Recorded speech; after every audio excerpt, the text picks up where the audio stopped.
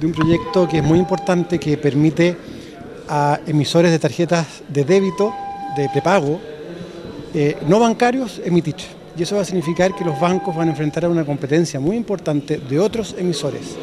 Y Chile va a poder dar un paso adicional muy importante en bancarizarse, en que la gente pueda usar plásticos para poder pagar, para que le depositen ahí sus sueldos, ayudas sociales y no usar efectivo. Y eso permite al final ahorrar tiempo, no recibe un cheque la persona, sino que recibe electrónicamente su plata y además le da más competencia al sistema, porque hoy día tenemos muchas tarjetas, pero la competencia es imperfecta y por lo tanto es un gran paso para la productividad, para ahorrar tiempo, para la seguridad eh, del uso de los recursos. Aquí con esto vamos a tener a actores no bancos, otros, por ejemplo, las cajas, por ejemplo, eh, distintos actores que podrían formarse para esto, para que emitan estas tarjetas y una empresa, por ejemplo, podría decidir pagar sus sueldos en tarjetas.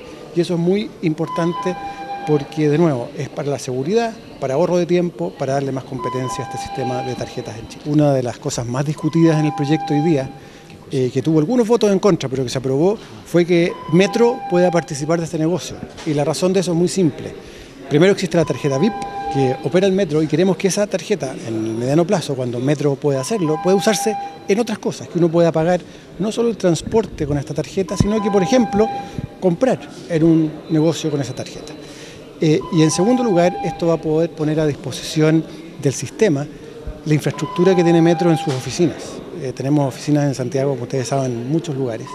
Y eso va a permitir que la gente que tiene tarjeta pueda rellenar su tarjeta, si quisiera, en esas oficinas.